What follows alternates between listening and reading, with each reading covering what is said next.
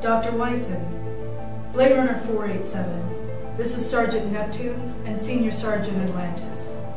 We sent a contact that we'd be here. It's about the new Super Nexus. You know, the superhuman killers, or whatever you call them. It is past time for humanity to grow up and accept our rightful place in the cosmos. I believe we can help each other out.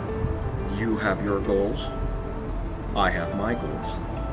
If we work together, we both can have what we want. The Outlanders are the Outlanders. The rebels are the rebels. But I have a question for this council. There has not been a replicant on this earth since 2015, and now I am seeing an influx of replicants? I want some answers. Where is Miss Patriga? Do not answer to you. There are several Blade Runners on their way here right now. I want you to deliver a message. Tell them the Super 8s are here. We're coming to take our home back. Quickly, quickly. We must relocate to a safer area. Jasmine, please gather everything that's important and meet me in the evac shuttle.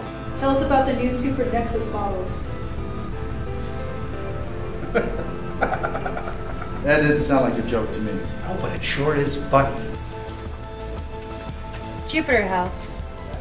Lots of interesting names these days that no one would have seen here a couple of generations ago. I have the General's report. We've been making great strides in our endeavors. So, we are on schedule. With the arrival of our shipment, we can be assured. Yes, of course. We do have a business to run. She seems nice and very astute. How come you didn't tell us about her so many years ago?